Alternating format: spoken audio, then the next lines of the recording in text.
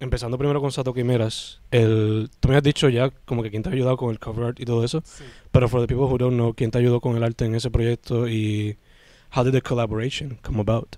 Ok, pues mira, este, yo, at the time, I met some people en el área metro y estas chicas están en un colectivo eh, feminista y bastante activo que se llama Les Insu.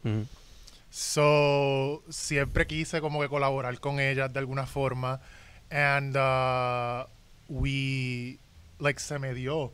Eh, and it was great. Eh, estas chicas eh, están doing something I love, no solo en el aspecto artístico técnico, sino en cómo están pushing para crear una comunidad Mm. alrededor del arte de ellas. Like, ellas se pasan eh, metidas en, en este en actividades geared towards people who also make art. Mm. Y usually they're the ones organizing. Like Mm, muchas muchas yeah. que he visto, ellas están organizándolas ellas mismas solitas. Este y, y le están metiendo bien cabrón. I am I live in awe of those women Yeah. like every single day. Y este la colaboración surgió porque eh, hay- estaba explorando esta idea de las satoquimeras Mm.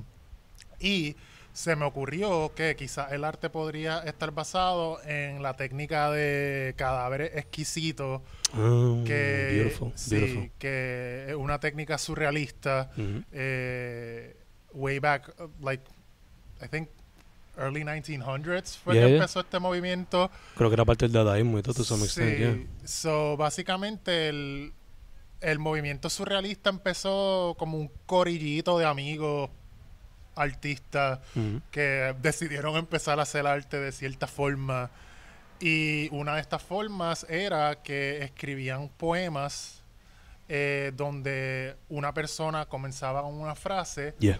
muchas veces tapaban la frase y decían, ok, ahora tú escribe algo siguiendo esto. Yeah, yeah. So, cuando todo el mundo tomaba su turno y le abrían el papelito y lo empezaban a leer, it would be a very nonsensical in a way Yeah. thing porque todo el mundo estaba escribiendo sin saber Lo persona. último que había escrito la otra persona. Yeah. Los mismos surrealistas, cuando empezó a regarse el movimiento en otras artes, empezaron a hacerlo con dibujo. Ujú. So people would draw like part of something, they would cover it up, y este, then someone else would draw, Yeah. like or you seeing like only partially what was already drawn. Ujú.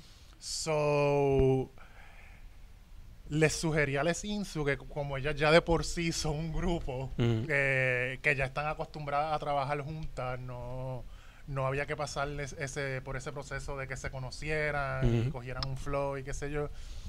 Pues les dije a ellas y ellas adaptaron las técnicas de eh, Exquisite Corpse Ujú.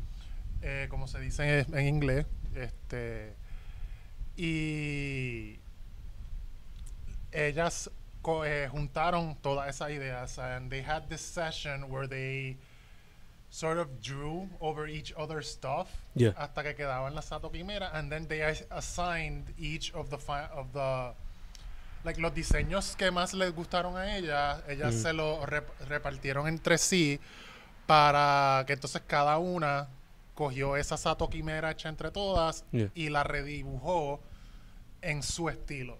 Mm. Y cada una de las Sato Quimeras de, que aparecen en el álbum artwork y en, lo, y en el extra booklet que Yeah. pueden conseguir solo en Bandcamp. este, eh, cada una fue diseñada por cada una de las integrantes del Insu y mano, yo no puedo estar más satisfecho con ese arte. Ese arte es ese arte me, me vuela la mente porque again, like yo vivo orgulloso de todos mis trabajos y de todas mis colaboraciones, Ujú.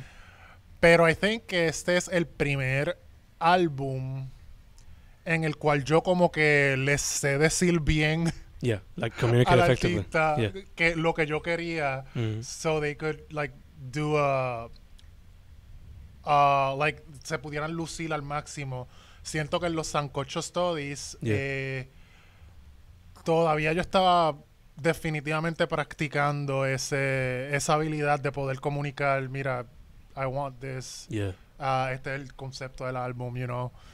So, no es que I'm not trying to devalue what came before. Yeah, yeah. solo que